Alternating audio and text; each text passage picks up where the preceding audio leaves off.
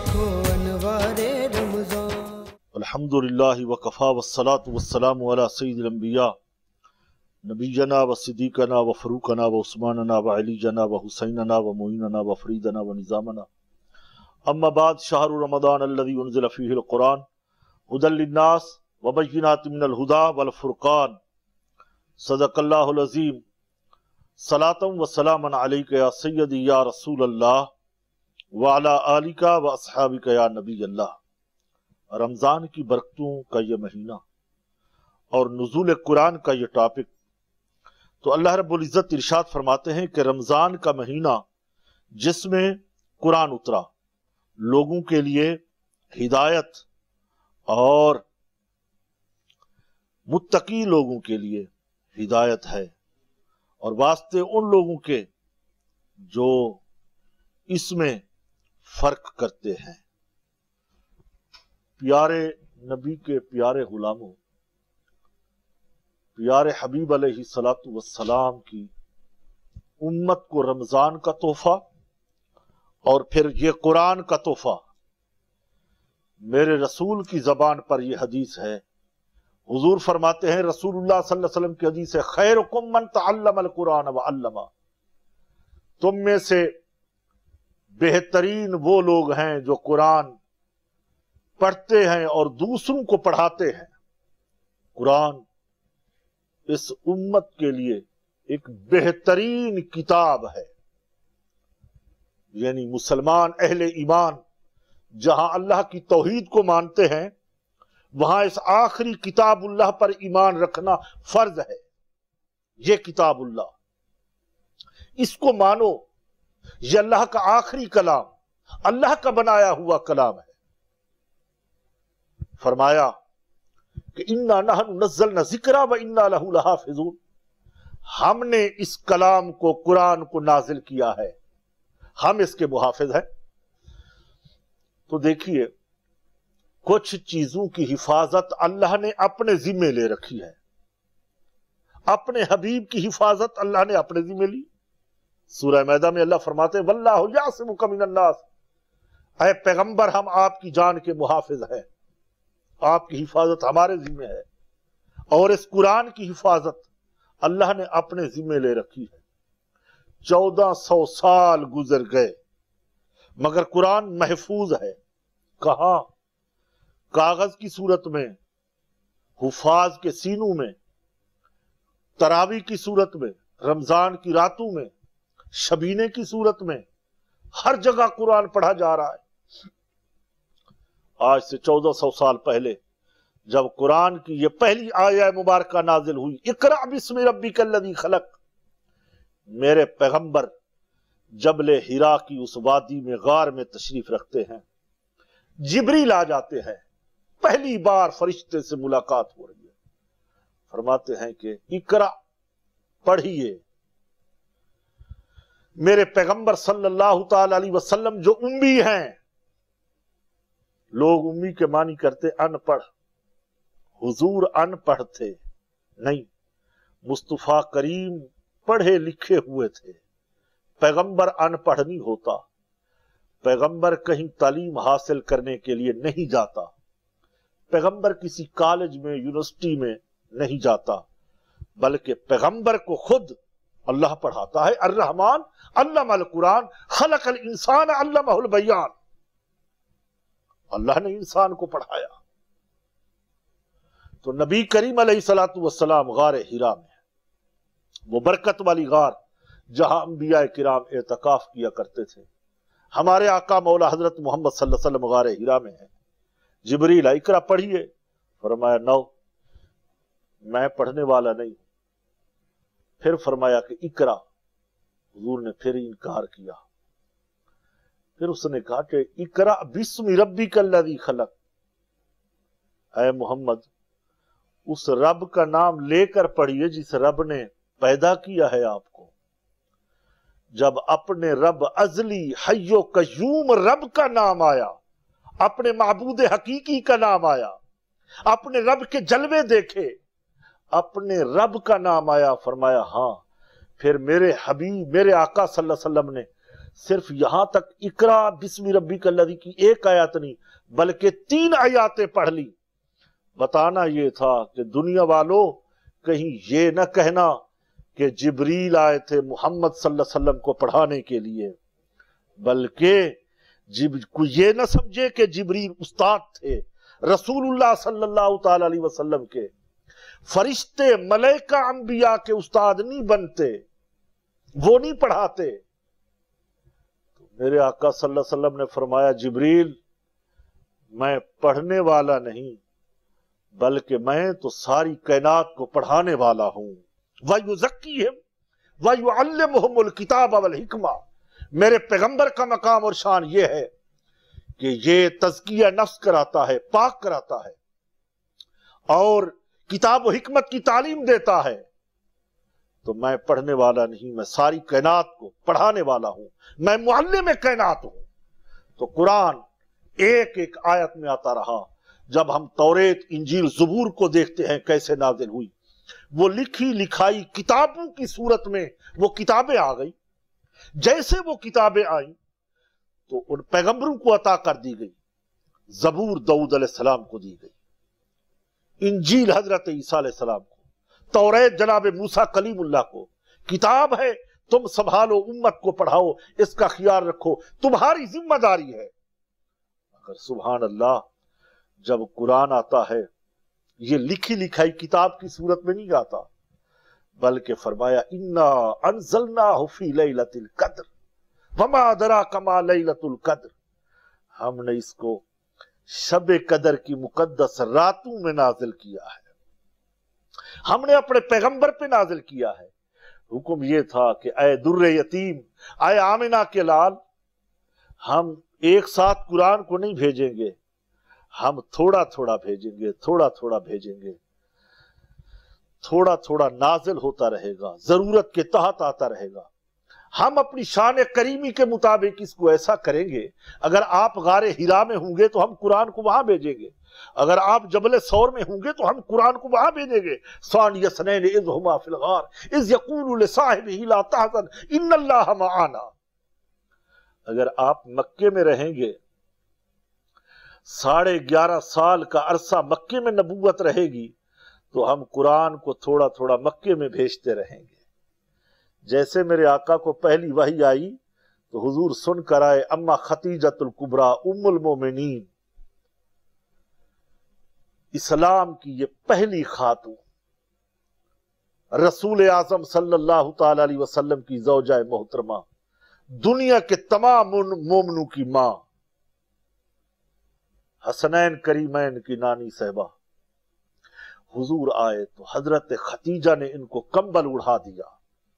ایک کپ کپی تھی جسم مبارک پہ پوچھا، کیا ہوا؟ فرمایا، کوئی فرشتہ آیا تھا۔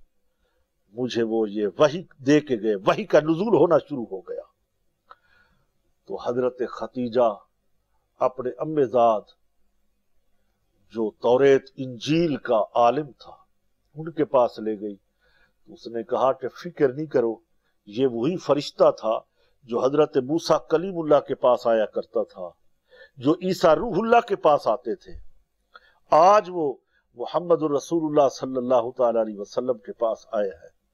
تو یہ رسول صادق الامین ہے یہ غریبوں کے، یتیموں کے آقا و مولا ہے فکر کی بات نہیں ہے۔ اللہ تعالیٰ ان کو عروج دے گا۔ اسلام کا بول بالا ہوگا۔ تو میرے آقا و مولا حضرت محمد صلی اللہ تعالی علیہ وسلم تشریف لائے۔ قرآن یہ موجزہ قد جاءکم برحان من ربکم انزلنا الیکم نورا مبینہ تو یہ قرآن، حضور کا یہ موجزہ ہے۔ قرآن موجزہ ہے۔ وہ پیغمبر چلے گئے تو ان کے موجزات بھی ساتھ چلے گئے۔ مگر میرے نبی کا یہ موجزہ قرآن زندہ ہے اور قیامت تک رہے گا۔ تھوڑا تھوڑا قرآن، ساڑھے گیارہ سال کی نبوت کی مدت جو ہے وہ مکی ہے۔ تو جو صورتیں مکے میں نازل ہوئی مفسرین نے لکھا یہ صورتیں مکی بنا دی گئی۔ وہ قرآن مکی کہلایا۔ اب اس کی تقسیم یوں کر لیتے ہیں، جب میرا رسول مکے میں تھا تو قرآن مکی بن کر آتا رہا۔ جب میرا رسول ہجرت کر کے مدینے میں آتا ہے تو قرآن مدنی بن جاتا ہے، وہ صورت مدنی ہو گئی۔ جب میرا رسول اونٹ پر بیٹھتا ہے تو قرآن بھی اونٹ پر آ جاتا ہے۔ رسول غزوات میں جنگوں میں جاتے ہیں تو قرآن بھی جنگوں میں آ جاتا ہے۔ جہاں جہاں ضرورت پڑتی گئی قرآن وہاں پہ آتا گیا۔ وہی آ جاتی، فرشتے آ جاتے۔ اب اس پہ بحث ایک الگ ہے کہ کس قسم کی وہی آتی، کن صورتوں میں آتی، کبھی گھنٹی کی صورت میں آتی وہی کبھی فرشتے کی صورت میں آتی، کبھی خواب کی صورت میں آتی، یہ بحث ایک الگ ہے۔ تو میں یہ بتانا چاہتا ہوں کہ قرآن، کہ پڑھنے والا میرے آقا صلی اللہ علیہ وسلم فرماتے ہیں، لوگوں، ہر چیز کا ایک دل ہوتا ہے۔ قرآن کا دل سورہ یاسین ہے۔ سبحان اللہ، کہ وہ برکت والی صورت جو صبح فجر کے بعد پڑھو، شام تک اللہ کی حفاظت میں ہوں گے۔ اور قیامت کے دن وہ صورت اپنے پڑھنے والی کاری کی بخشش کروائے گی۔ قبر میں اجالا ہو جائے گا۔ پھر فقہ نے فرمایا، جس سینے کے اندر قرآن ہوگا اس کو قبر کی مٹی نہیں کھاتی۔ یعنی اس کی باڈی کو، جسم کو قبر کی مٹی نقصان نہیں پہنچاتی۔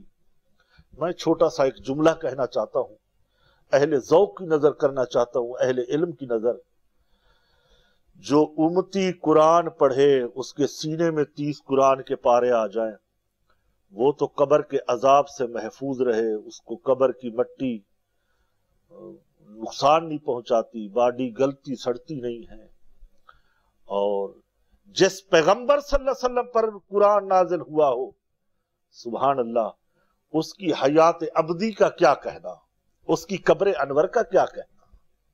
اس لیے فرمایا کہ اس پیغمبر صلی اللہ علیہ وسلم کی قبر اللہ کے عرش سے افضل ہے۔ یہ علماء کا فیصلہ ہے۔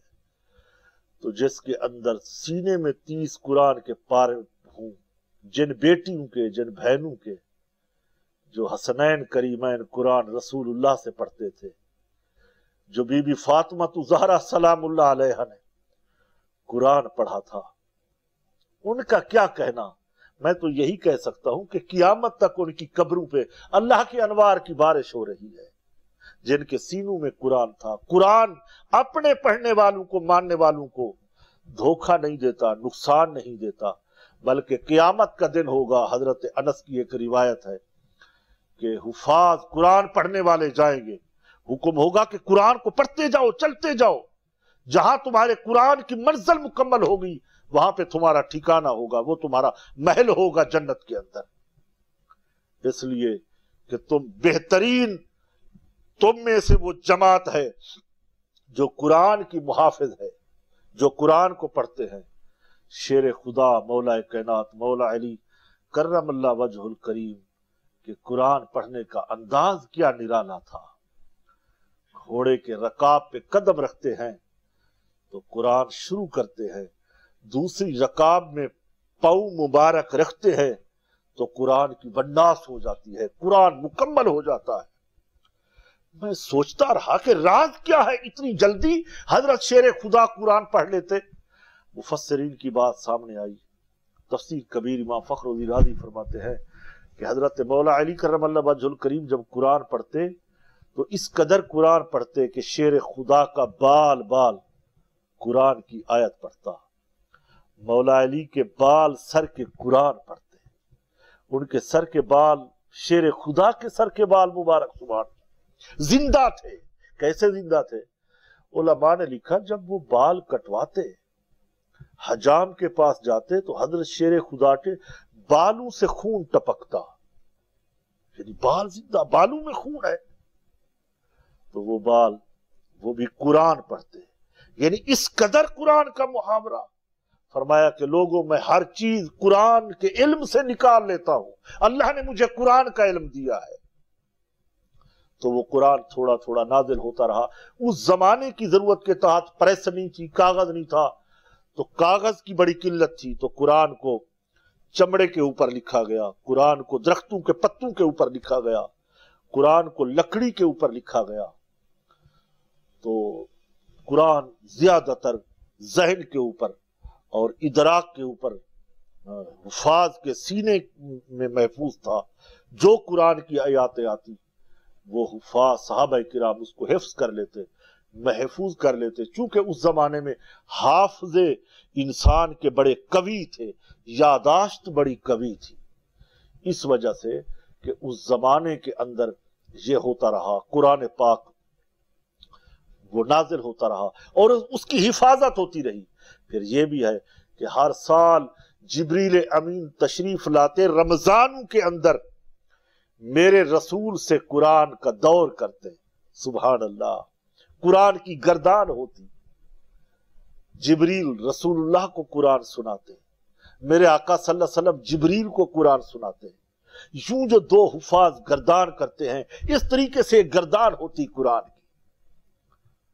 ایمان یہ کہتا ہے، جب آمنہ کے لال صلی اللہ علیہ وسلم قرآن کی تلاوت کریں مدینے کا شہر ہو، مسجد نبوی ہو، اور جبریل گردان کر رہے ہوں، تو پھر اہل ایمان قرآن سنتے ہوں گے، پرندے قرآن سنتے ہوں گے، ملائکہ رسول اللہ کا قرآن سنتے ہوں گے۔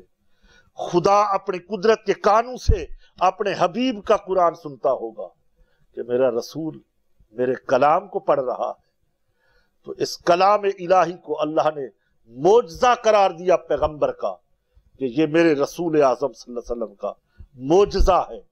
اس قرآن کے اندر تمام قصص کا ذکر کیا، سابقہ انبیاء کے احوال بیان کیے۔ اس قرآن کے اندر صرف ایک مہینے کا نام آیا ہے، وہ ہے ماہ رمضان کا۔ ایک عورت کا نام آیا ہے، وہ ہے بی بی مریم کا۔ ایک رسول اللہ کے غلام صحابی کا نام آیا ہے، وہ ہے زید بن حارسہ کا۔ ان کے نام قرآن نے بیان فرمائے۔ میرے نبی کریم علیہ السلام نے اس قدر بیان فرمایا، اس قدر قرآن کی حفاظت کا ذمہ اللہ نے لیا اور رسول کو عطا فرمایا۔ تو میرے رسول نے اس قرآن کے علم کو پھیلا دیا اپنی امت کے اندر۔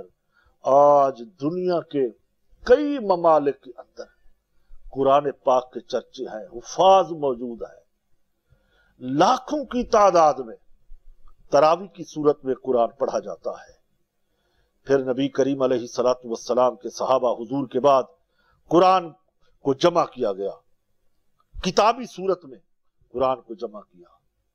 خوش ہوئے۔ حضرت شیر خدا کرم اللہ وجہ الکریم نے تعریف فرمائی۔ حضرت زید بن حارثہ کی یہ ڈیوٹی۔ اور صحابہ کرام، حضرت ابو بکر صدیق وغیرہ۔ قرآن کتابی شکل میں ہم تک پہنچا ہے۔ من و ان وہی قرآن جو نبی کریم علیہ سلاۃ پر نازل ہوا۔ یہ قرآن وہ کتاب ہے لارب الف لام ذالک الکتاب لا ریب فی اس میں کوئی شک و شبہ نہیں ہے۔ ہدل المتقین یہ ہدایت ہے متقی لوگوں کے لیے۔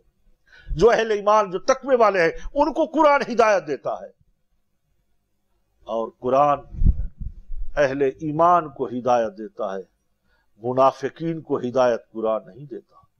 یدلو بہی کثیرا ویہدی بہی کثیرا وما یدلو بہی الا الفاسقین۔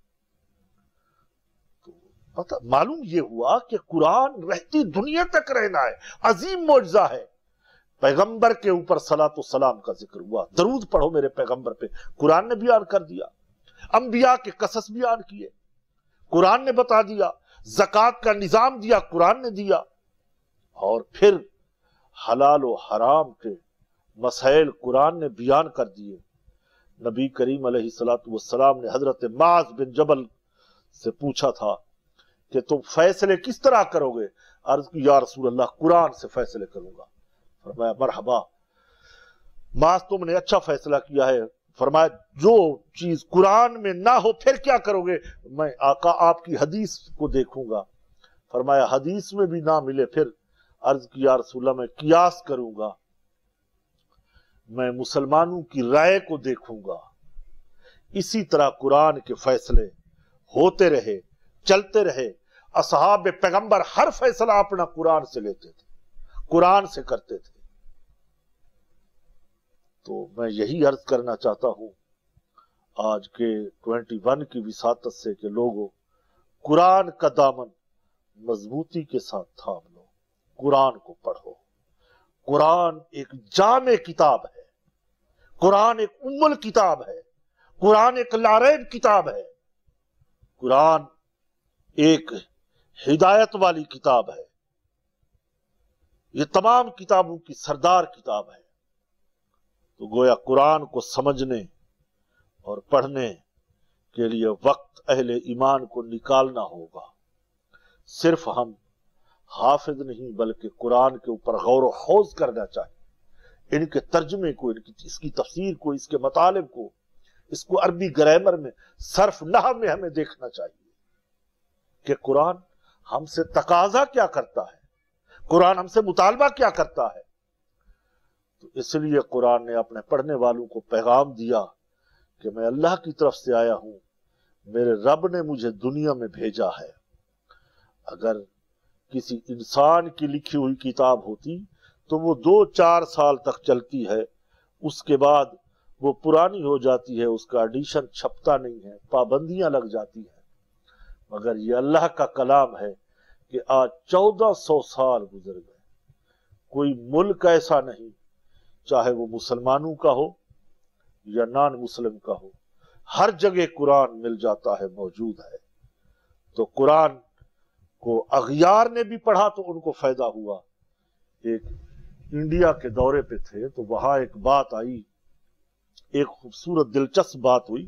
تو اس پادری نے کہا، بات یہ ہے کہ ہم تو تمہارے قرآن کو پڑھتے ہیں، ہمیں تو پندرہ پارے قرآن کے یاد ہے اور تمہیں ہمارے کتاب کے کچھ یاد ہی نہیں ہے تو جواب یہ دیا، ہمارے علماء نے موجود تھے، تو ہم نے کہا کہ یہ ہمارے قرآن کا معجزہ ہے کہ اپنے تو اپنے اغیار کے سینوں میں بھی یہ قرآن چلا گیا ہے۔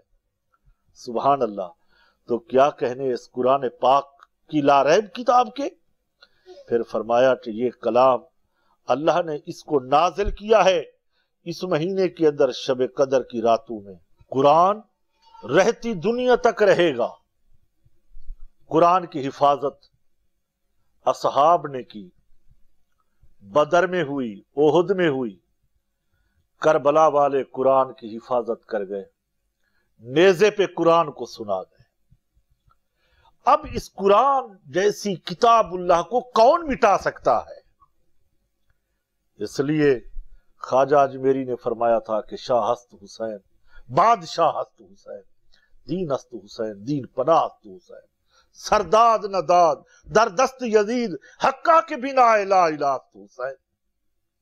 سبحان اللہ کہ لا الہ کی بنیاد حضرت حسین ہے۔